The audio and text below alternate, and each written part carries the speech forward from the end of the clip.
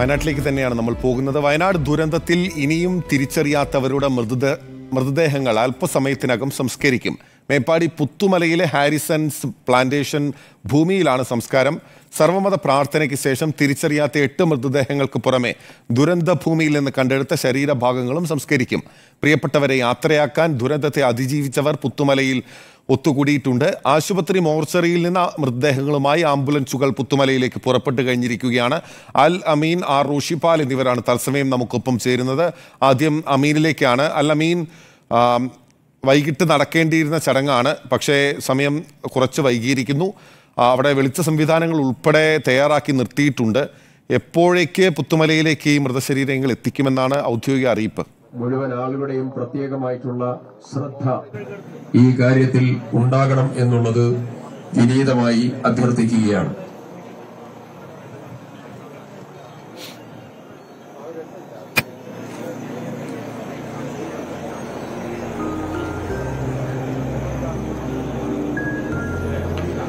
ബിനിലെ അല്പസമയത്തിനകം മേപ്പാടിയിൽ ആശുപത്രിയിൽ നിന്ന് മൃതദേഹങ്ങൾ എട്ട് മൃതദേഹങ്ങൾ പുത്തുമലയിൽ സംസ്കാരത്തിനായി സജ്ജീകരിച്ചിരിക്കുന്ന ഈ സ്ഥലത്തേക്ക് ഹാരിസൺ മലയൻ പ്ലാന്റേഷന്റെ ഈ സ്ഥലത്തേക്ക് എത്തിക്കുമെന്നുള്ളതാണ്. നാല് മണിക്ക് സംസ്കാരം എന്നുള്ളതായിരുന്നു നേരത്തെ നിശ്ചയിച്ചിരുന്നത്. പക്ഷേ ഡി എൻ എ പരിശോധന പൂർത്തിയാക്കി അതുമായി ബന്ധപ്പെട്ട പ്രോട്ടോകോൾ നടപടികൾ പൂർത്തിയാക്കേണ്ടതുണ്ടായിരുന്നു. അതെല്ലാം പൂർത്തിയാക്കിയതിനു ശേഷമാണ് മൃതദേഹം ഇപ്പോൾ എത്തിക്കുന്നത് എന്നുള്ളതാണ് മന്ത്രിമാർ ഉൾപ്പെടെയുള്ളവർ പറയുന്നത്. മന്ത്രി കെ രാജൻ ഉൾപ്പെടെയുള്ള ഒ കെ എൽ ഉൾപ്പെടെയുള്ള മന്ത്രിമാരൊക്കെ ഇവിടേക്ക് എത്തിയിട്ടുണ്ട്. എം എൽ എമാർ ഉൾപ്പെടെയുള്ളവർ ഇവിടേക്ക് എത്തിയിട്ടുണ്ട്. വലിയൊരു ജനസഞ്ചയവും ഇവിടെ എത്തിയിട്ടുണ്ട്. എട്ട് മൃതദേഹങ്ങളാണ് ഇന്ന് സംസ്കരിക്കുന്നത്. അതിൽ ശരീരഭാഗങ്ങൾ പ്രത്യേകിച്ചുണ്ടോ എന്നുള്ളത് വ്യക്തമല്ല. ഏതായാലും ഇതിന് സംസ്കാരത്തിന് വേണ്ടി പ്രത്യേക ആറംഗ സംഘത്തെ കൂടി നിയമിച്ചിട്ടുണ്ട്. അവർ മാസ്കൊക്കെ ധരിച്ച് അവർ ഷീൽഡൊക്കെ ധരിച്ചാണ് അവർ നിൽക്കുന്നത്. അവർക്ക് പി പി ഇ കിറ്റൊക്കെ ധരിച്ചാണ് അവരതിന് നിൽക്കുന്നത്. നമുക്കിപ്പോൾ ദൃശ്യങ്ങളിൽ കാണാം. മൃതദേഹങ്ങൾ എത്തിച്ചു കഴിഞ്ഞാൽ സർവമത പ്രാർത്ഥനയാണ് ആദ്യ ചടങ്ങ്. അതിനുവേണ്ടിയുള്ള പ്രത്യേക പന്തലമൊരുക്കി ക്രമീകരണങ്ങളൊക്കെ സജ്ജീകരിച്ചിട്ടുണ്ട്. സർവമത പ്രാർത്ഥനയ്ക്ക് നേതൃത്വം കൊടുക്കുന്നതിനായി വിവിധ മത രംഗത്തുള്ള ആളുകൾ കൂടി എത്തിയിട്ടുമുണ്ട്. പൂജാകർമ്മങ്ങൾക്ക് വേണ്ടി ക്ഷേത്രത്തിൽ നിന്നും അതുപോലെ ജനാസ നമസ്കാരത്തിനു വേണ്ടി മഹല്ല ഭാരവാഹികളും അതോടൊപ്പം തന്നെ ക്രൈസ്തവ ദേവാലയങ്ങളിൽ നിന്നുള്ള ആ, ആളുകളുമൊക്കെ തന്നെ ഇതിന് നേതൃത്വം നൽകുന്നതിനായി ഇവിടേക്ക് എത്തിയിട്ടുണ്ട്.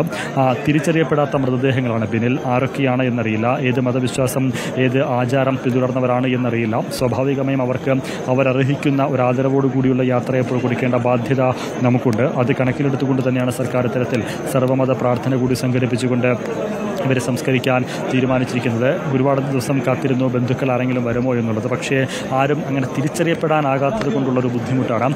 മണിക്കൂറുകൾക്ക് മുമ്പേ തന്നെ സ്ത്രീകളടക്കമുള്ള നിരവധി ആളുകൾ ഇവിടെ വന്നിരുന്നുണ്ട്. ഇവിടെ കാത്തിരിപ്പുണ്ട്. ഇപ്പോഴും കാത്തിരിക്കുകയാണ്. ഈ മണിക്കൂറുകൾ കഴിയുമ്പോഴും ഈ നട്ടപ്പാതിരാക്കം അവർ ഇവിടെ തന്നെ ആ കാത്തിരിപ്പ് തുടരുകയാണ്. അവരൊക്കെ പറയുന്ന രണ്ട് കാര്യങ്ങളാണ്. ഒന്ന് അവരുടെ കുടുംബത്തിൽ തന്നെ പലരും ഇത്തരത്തിൽ കാണാതായിട്ടുണ്ട്. ചിലരുടെ മൃതദേഹം ലഭിച്ചിട്ടുണ്ട്. ചിലരെക്കുറിച്ച് ഇപ്പോഴും വിവരമില്ല. സ്വാഭാവികമായും അവരും മരണപ്പെട്ടു എന്നുള്ളത് തന്നെയാണ് അവർ വിശ്വസിക്കുന്നത്.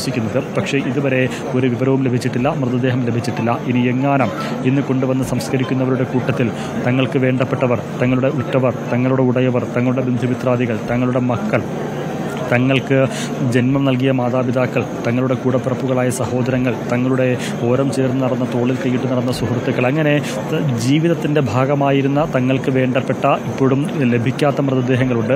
അവരാരെങ്കിലും ഇക്കൂട്ടത്തിൽ ഉൾപ്പെട്ടിട്ടുണ്ടോ എന്നുള്ള ഒരു സംശയത്തിന്റെയും ഒരു പ്രതീക്ഷയുടെയും കൂടി അടിസ്ഥാനത്തിൽ അവർക്ക് യാത്രയപ്പ് നൽകാനായി എത്തിയിട്ടുണ്ട്.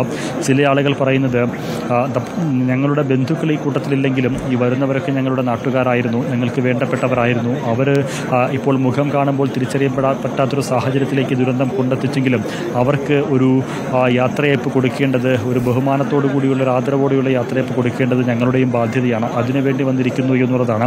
നേരത്തെ സംസാരിക്കുമ്പോൾ ഒരു സ്ത്രീ പറയുന്നുണ്ടായിരുന്നു കുടുംബത്തിൽ നാൽപ്പത് പേരെയാണ് കാണാതായത്. അതിൽ ഏഴ് പേരുടെ മൃതദേഹം മാത്രമാണ് കിട്ടിയത് എന്നുള്ളത്. പിന്നീട് നമ്മളിവിടെ വന്നിരിക്കുന്ന ഈ പല ആളുകളോടും നേരത്തെ സംസാരിച്ചു. പലരും നാട്ടുകാരല്ല പലരും വയനാട്ടുകാരല്ല പലരും മേപ്പാടിക്കാരല്ല പലരും മുണ്ടക്കൈക്കാരല്ല പലരും ചൂരൽമലക്കാരല്ല.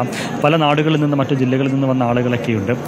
അവരൊക്കെയും പറയുന്നത് ഈ നാട് ഏറ്റുവാങ്ങിയ ഒരു ദുരന്തം അത് ഞങ്ങൾക്ക് എല്ലാവർക്കും അതിന്റെ വേദനയുണ്ട് വിഷമമുണ്ട്. പക്ഷേ ഒരാളുടെ പോലും കണ്ണ് നിറയുന്നത് നമ്മൾ കാണുന്നില്ല പിന്നിൽ അങ്ങനെ കണ്ണു നിറയുന്നില്ല എന്ന് പറയുമ്പോൾ അവർക്ക് മനസ്സറിവില്ലാത്തത് കൊണ്ടോ അവർക്ക് വിഷമമില്ലാത്തത് കൊണ്ടോ അല്ല മനസ്സ് മരവിച്ചൊരവസ്ഥയിലാണ് അവരൊക്കെ നിൽക്കുന്നത്. കരയാൻ ഒരു തുള്ളി കണ്ണുനീർ പോലും അവരുടെ കണ്ണുകളിൽ ഇല്ല എന്നുള്ളതാണ് ഏറെ പ്രധാനം. കഴിഞ്ഞ ആറു ദിവസമായി മേപ്പാടി ആശുപത്രിയിലും മറ്റും ഫ്രീസറിലിരിക്കുന്ന തണുത്തുറഞ്ഞ ശരീരങ്ങളാണ് ഇവിടേക്ക് വരാൻ പോകുന്നത്. ഈ ശ്മശാന ഭൂമിയായി മാറിയ ഈ ഹാരിസൺ പ്ലാന്റേഷന്റെ ഈ അറുപത്തിനാല് സെന്റ് സ്ഥലത്തേക്ക് വരാൻ പോകുന്നത്.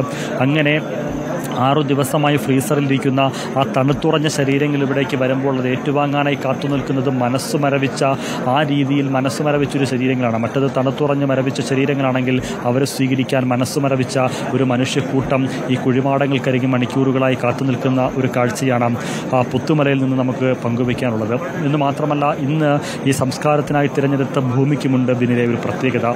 കഴിഞ്ഞ അഞ്ച് വർഷം മുമ്പുണ്ടായ പുത്തുമല ദുരന്തം ഉരുൾപൊട്ടൽ. ആ ദുരന്തത്തിൻ ഒലിച്ചിറങ്ങി വന്ന പാറകളും ഒലിച്ചിറങ്ങി വന്ന മണ്ണ് അടിഞ്ഞിട്ടുള്ളൊരു പ്രദേശം കൂടിയാണ്. വലിയൊരു തേയിലത്തോട്ടമാണ്. ഈ തോയിൽ തേയിലത്തോട്ടത്തിനിടയിലൂടെ ഉരുളുകൾ ഇറങ്ങി വന്ന് മണ്ണിറങ്ങി വന്ന് ആ ഉരുൾപൊട്ടലിൽ എവിടെ നിന്നോ ഒലിച്ചിറങ്ങി വന്ന് ഇവിടെ തം ഇവിടെ കൂട്ടപ്പെട്ട അല്ലെങ്കിൽ ഇവിടെ വന്ന് തടയപ്പെട്ട മണ്ണാണ് ഈ മണ്ണ്. സ്വാഭാവികമായും ആ മണ്ണിനടിയിൽ അന്ന് പുത്തൂർ ദുരന്തത്തിൽ മരിച്ച അപകടത്തിൽപ്പെട്ട് കാണാതായിപ്പോയ ആളുകൾ പലരും അവരുടെ മൃതദേഹങ്ങൾ പക്ഷേ ഒരു പക്ഷേ ഈ മണ്ണിനടിയിൽ ഉണ്ടാകാം. അങ്ങനെ പുത്തൂർ ദുരന്തത്തിന്റെ ഇരകളുടെ ശരീരം ചേർന്നൊരു മണ്ണ് കൂടിയാണ് ഇപ്പോൾ ഇപ്പോഴത്തെ ദുരന്തത്തിൽ ഇരകളായവരുടെ തിരിച്ചറിയപ്പെടാൻ പോലും ആകാത്ത വിധം മാറ്റപ്പെട്ടു പോയ ആളുകളുടെ മൃതദേഹങ്ങൾ ഏറ്റുവാങ്ങാനായി തയ്യാറായി നിൽക്കുന്നത്. ഏതാണ്ട് നാൽപ്പതോളം കുഴി കുഴിമാടങ്ങൾ ഇവിടെ തയ്യാറാക്കിയിട്ടുണ്ട്.